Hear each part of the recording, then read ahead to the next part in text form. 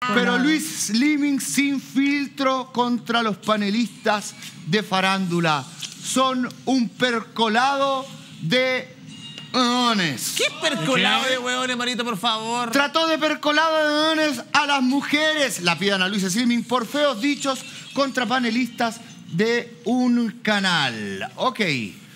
Pablo Candia, explícame un poco, dame contexto. El gran ganador de lo que fue el Festival de Viña del Mar se fue con todo contra los programas de espectáculo y principalmente contra muchos integrantes de este espacio. ¿Cómo se nota que estaba ahogado este caballero? No hallaba el momento para vomitar todo lo que vomitó junto a Edo Caro en un programa de YouTube.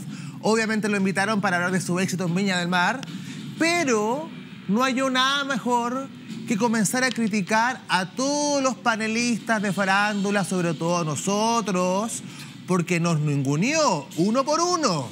Pero antes, yo, yo, siempre lo he dicho, yo soy el más ignorante de este, de este panel. Yo quiero saber qué es percolado. Porque una palabra que en la universidad no me enseñaron, básicamente. Ok, vamos a ver entonces qué es percolado. Para entender la talla. Que, no, y para que dimensionemos el tipo de insulto. ¿Sabes qué es un líquido percolado? Ah, un líquido ya. Sí. Vamos a ver. Dice, los residuos sólidos domiciliarios ah, producen líquidos nocivos que pueden contaminar e impactar negativamente suelos, acuíferos y por lo tanto la salud humana. Este líquido nocivo, llamado también lixiviado, es un fluido que se desprende y se filtra a través de los residuos sólidos y que extrae materiales disueltos o en suspensión. ¿Qué crestas esto? No entendía Un ejercicio muy simple. Lo vamos a llevar a nuestra vida cotidiana. Lo vamos a llevar a nuestra vida cotidiana. Ok, fin de semana de jarana. Ya, de carrete. En tu casa. Ya, con after incluido. Se juntan muchas bolsas, ¿no? Sí, de basura. De basura. Bolsas de basura con todo lo que fue saliendo de el mundo de con las botellas, con los vasos, con las Exactamente, con exactamente. acuérdate. Pues uno de estas bolsas después las quiere sacar, ponte tú, de lo que es la logia o donde juntaste todas esas bolsas para llevarlas hacia donde las retira la gente de la basura y uno las levanta y cachado y de repente empieza a caer un líquido de todo eso. Bueno. Así, Eso es percolado. Así nos trató el señor Slimming. No. Sí. Somos un líquido. Mira, mira, mira, mira, mira, Todo eso que aprieta, que aprieta, que aprieta, todo eso. Y todo ese líquido que sale, todo eso es percolado. Mira, que es un líquido. todo mojado. Ahí, mira, mira, mira, mira el agua. Ahí vamos cayendo. Ahí va la Claudia. mira, eso, eso.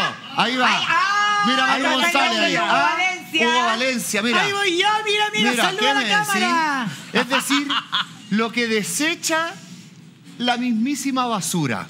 Oh. Mira tú qué entretenido. Muerta que de. Luis Slimming, para ser el gran triunfador del Festival de Viña del Mar, tuvo que ser vilipendiado por muchos programas de espectáculo. Sí. Mucha gente, muchos opinólogos, muchos periodistas que dijeron, este gallo va a fracasar, este gallo es fome, este gallo se va a poner nervioso, lo van a pifiar y el hombre tiene que haber entrado muy nervioso como resulta que se gana la Quinta Vergara, hizo reír a todo el mundo, los contrastes, el negro, el blanco, el dulce, el agraz. Estaba ahogado. Estaba ahogado. ¿Qué fue lo que dijo en un programa de YouTube junto a Edo Caroe? ¿Cómo nos trató y por qué? En el siguiente video. Mire. Creo que ahora ya que pudimos ver todos estos programas farándula antes de Viña, después de Viña y todo, creo que quedó claro que eh, al parecer tu rol en el purgatorio fue el que generó como animadversión Claramente. En, cierto espectro de la farándula. Claramente, porque si tú veis los, los, canales que hacían más eco de esta polémica, de levantar esta cuestión, eran los, eran los programas cuyo panel eran todos invitados del purgatorio que agarré para el Claro, ah. claro. Entonces era la vendetta de ah, Jordi Viñuela, Jordi Viñuela, Claudia Schmidt, Daniela Campo, todo, todo, Y quienes lo, rodean. Y todo ese percolado de que están alrededor, entonces como que de verdad era muy, muy difícil. Eh, ya más encima, ellos creen ellos tienen, salen al aire todos los días, ¿cachai? Y uno, bueno, entonces uno trata de no hablar, porque ya al, ya al decir esto va, a ser tema para ellos. Percolado de unos programas de farándula de verdad que se dedicaban a, a- a- a generar una narrativa negativa, ¿cachai? A, a- no solo la, la, la, la- la fiesta, a la Javiera, a mí, ¿cachai? A todos los que habíamos sido pifiados en algún festival, que es una cuestión que pasa cuando uno prueba chiste. Eh, lo- olvidé el punto que iba. no, no, pero yo participé en el Purgatorio, que era un programa de farándula, básicamente. Sin embargo, nuestra intención con la chica y con los chiquillos, cuando escribíamos los chistes, siempre había era, era hacer reír. Siempre había una intención cómica detrás. Claro. La intención de estas personas que están en, en el programa de farándula, no hay ninguna intención más allá de verte caer. Para poder hacer noticia, para poder rellenar su hora y media de mierda. Entonces, eso es lo penca, ¿cachai? Porque está bien. Podemos trabajar en programas de farándula y podéis juzgar el, el- el- el rubro. Pero el, em- empecinarte en la vida a alguien es, es penca. ¿Por qué no te, no te conseguí un trabajo más honesto? No sé. Porque se Sí. puede hacer el mismo trabajo, pero bien, pues. O sea, Claro, pues. hacerte- ojalá amigos de los locos para que te den cuña, para que te den Investigar, claro, OE. investigar. Oye, de hecho, yo pude presenciar un poco lo que ocurrió ahí con, eh, con Cañulef eh, específicamente. Creo que ahora ya. Empecinarle en cagar la vida a alguien. Tener un trabajo honesto.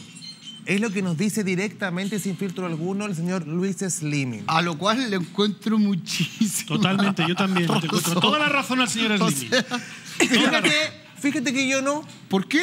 porque yo no trabajo pa, pa- empecinado en cagar la vida a alguien. Yo trabajo en base a la información y al contenido que estos rostrillos nuevos y humoristas nuevos, elevados, intelectuales, con humor eh, negro, irónico, han aparecido. Yo trabajo en base a eso. Si hemos hablado aquí de Luis Slimming para bien, felicitándolo por, por su, éxito, eh, por su éxito en Viña del Mar, o para mal, por lo pifiado que fue en algunos festivales de regiones, es la información que está, es la información que la misma gente publica en redes sociales. Yo no trabajo para la vida para la vida de Luis Slimming. No. Sí, pero importa Pablo- tres hectáreas de, de coronta de choclo. Pablo, yo lo creo, que pasa en la vida de Luis Slimming. Yo, yo yo creo hablo que- en base a su trabajo. Sí. Para bien o para mal. A lo me que guste escribió o no me en guste. Twitter, de eso también se habló, pero lo escribió él, Bueno, no lo escribí yo por ver. él. Obvio. Entendamos todos que esto es sin llorar. Sí. Y aparte de sin llorar, es le- leer la lectura de quién lo dice y quién lo cuenta. Está muy bien que el señor Slimming diga que empecinarse en joder la vida a la gente. Bueno, hay que recordar que cuando tú vas al purgatorio, una cosa es que te paguen un dinerito por repasar tu vida o demás. Pero cuando te hacen pebre, cuando te llaman 25 veces ciertas cosas, también uno se empecina.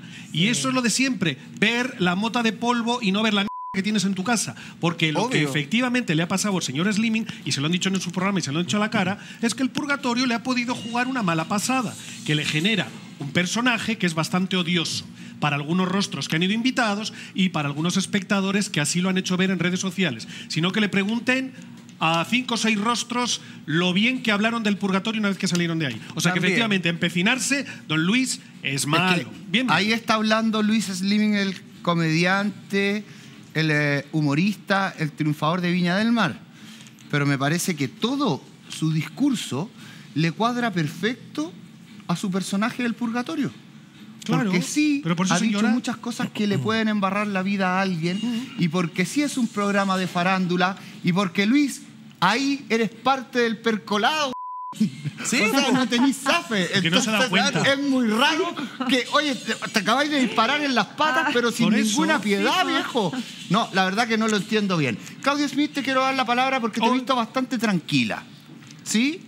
Siempre lo estoy. ¿Cuándo no lo he estado? No. Cuando agarraste de las mechas esa galla en el reality. Toda la Ah, razón. ahí Sí, perdiste. toda la Sí, razón. sí. Oye, yo no sé si era una moto o eran los chapes de la niña, pero esta estaba así. Es que eso fue, eh, bueno, voy a decir lo que pensé. Ay. No, es que nada, a mí Luis me, me da risa lo que plantea porque eh, sinceramente acá se mezcla todo, se mezcla absolutamente todo. Mi participación en el purgatorio donde me encontré con dos comediantes que no tenían ni idea de lo que estaban haciendo en esa rutina, no se la habían estudiado, no ni siquiera sabían leerla porque la, trataban de leer y no sabía. Se mezcla después mis declaraciones, se mezcla que en el fondo yo sé jugar el juego y él no lo sabía jugar en ese minuto, por eso lo, lo dije anteriormente que era un bebé de cuna todavía. Entonces se agarra todo esto para hacer una, una masa de, todas lo- de todos los episodios vividos. La verdad que ya me tiene un poco aburrida. porque sigue él creyendo que él es superior a todos nosotros cuando él hace eh, humor en base a lo que él cree que a todo el mundo le puede gustar. Y yo te voy a aclarar, Luis, que tu humor no a todas las personas le agrada. Incluso te voy a hacer solamente una, una cosita chiquitita y te voy a recordar lo que acaba de pasar con tu colega, el flaco, por ejemplo. Porque hasta ahora hemos sido bastante livianitos contigo. Pero empieza a hacerte el cuerito de chancho, ¿viste? Porque la cosa se puede poner peor. Porque tú no estás entendiendo cuál es este juego. Tú estás creyéndote que tú, a través de tu humor, haces reír a todo el mundo. Y efectivamente eso no es así. Igual hizo reír a harta gente. Sí, Ah, no, hubo pues, mucha gente que se rió y está bien. un- que se un- pero Sí. yo no estoy diciendo lo contrario y yo a su vez dije que en su rutina la otra vez lo, ya bueno, es Yo creo que ustedes son más parecidos de lo que creen. No. Tú con Luis. ¿Por qué? Yo no tengo, yo soy zorra y él no. Yo creo que él es O que bien no zorra, él es bien zorra en verdad. No sé. Por algo está haciendo lo que No está sé. haciendo. Lo que está haciendo Luis es entrar en el círculo de la farándula y eso se aprende en la universidad del primer año. A los tres Se meses. lo digo yo. Sí. En esta Universidad de Chile hay un ramo de farándula. ¿Cómo entrar y seguir dándole ¿Verdad? cuerda? Adriana, Adriana Barrientos salió con honores de ese ramo. La sabe- de verdad, se sacó las mejores notas en la universidad. Matrícula de lo honor. mismo. Le dieron Luis, de platino, al dar, creo. al dar esta entrevista y referirse, digamos, al trato que le dieron, está saliendo con honores también. Pero al igual, Luis, eh, de que mm, tu humor hizo reír a muchos, entre ellos a mí, bastante, a carcajada, casi me hago pipí. Pero cuenta que habías tomado un 5-5 Pero eso es porque no, estás sí, trabajando Oye, yo no le voy a quitar mérito al hombre, sí, yo encuentro que es seco. También él tiene que entender que vaya, que hoy día la farándula quizá en televisión no esté presente como estuvo hace un par de años atrás. Hoy día en las plataformas, en las redes sociales, la gran mayoría de los portales de internet hablan solo de farándula y de espectáculos, muy poco de política u otras materias. A lo más te diría que el deporte tiene ahí su nicho, su espacio, pero hoy día en redes sociales, o sea, la gran mayoría habla. ¿Eso qué quiere decir Luis? ¿Cuál es mi punto? Que la farándula sigue siendo del gusto de muchas personas. Tal vez de ti no, pero de muchas sí. Por eso yo digo, Claudia, que él se parece mucho más a nosotros de lo que él Que cree. nosotros incluso. Ahora yo le encuentro la razón en todo caso. Sí, Porque sí. si a mí me hubiese tratado de soberbio, guatón, obeso, fome, limitado, que debería no subirme a la Quinta Vergara ni siquiera ser humorista, yo hubiese reaccionado mucho peor de lo que él reaccionó. Pero ¿quién le dijo eso? Súmale lo que le dijo la Claudia. Te digo, guatón, le dijo Yo Jordi no fu- Castel. ah, yo no fui. Fome, le dijo la Julita Vial. Que no debería ser humorista, le dijo la Carla Valero. Limitado, le dijo mi socia acá al lado. Ok. Soberbio, le dijo el Manu González. Y no quiero ni repetir las cosas que le dijo Pablo Candia porque con esta boquita digo mamá. Discúlpame, No, pero alguna de me- esas cosas que acabas de enumerar es mentira. O sea, todo- Ah. toda la lista que tú numeraste es mentira. Sí. Ay, no, Yo cuando no, lo primero- encuentro, yo no lo No, encuentro no, no, no, no. soberbio. Yo estoy Ah. igual. No, porque yo O cada sea, vez que... su actitud con estas imágenes sí fueron soberbias. Su actitud en Villa del Mar sí fue soberbia también. creo que no. ¿Y la otra lista cuál era? Limitado. Es limitado. Yo ¿Cuál creo otra? que no, que no debería ser humorista. Yo también encuentro que no. ¿Cuál otra? Fome tampoco lo encuentro. Yo lo encuentro fome. No, y por pero- favor, no, no, no, hablemos cai- no, más no del cuerpo caigamos, de la no, gente, no, tratando no, no de caigamos. guatón. Bueno, no, pero no es ninguna mentira. Pero es que hay que separar las cosas, Pablo, y ahí yo creo que es donde uno tiene que hacer la diferencia. Es talentoso, es talentoso. Le va increíble, Pero, él le va ma- increíble. ¿sabes lo que Es pasa a muy mí? buen libretista, es muy buen libretista, ha trabajado con los mejores. Es divertido, es gracioso, sí, con eso se nace, eso no se puede estudiar en la universidad. Todas esas cosas sí, pero donde se equivoca es en el fondo en meterse en un mundo y ¿Sabes dónde criticar se- algo de lo cual es súper parte a través del purgatorio. ¿Sabes dónde se equivoca? Porque yo no me voy a hacer cargo de las palabras que hayan dicho todos mis colegas, opinólogos eh, o como le quieran llamar. Opinólogo, me Percolados. Cada uno, porque cada uno tiene De su propio nombre, así que por eso lo dije. Pero bueno, eh, yo no me voy a hacer cargo de eso. Pero a él lo que no le gusta es que cuando que es la, eh, digamos, el conflicto que él tuvo conmigo, no, no yo con él, porque en realidad él a mí me da exactamente lo mismo. Yo solamente fui a hacer mi parte del show al purgatorio y me encontré con estos dos comediantes que no sabían ni dónde estaban parados.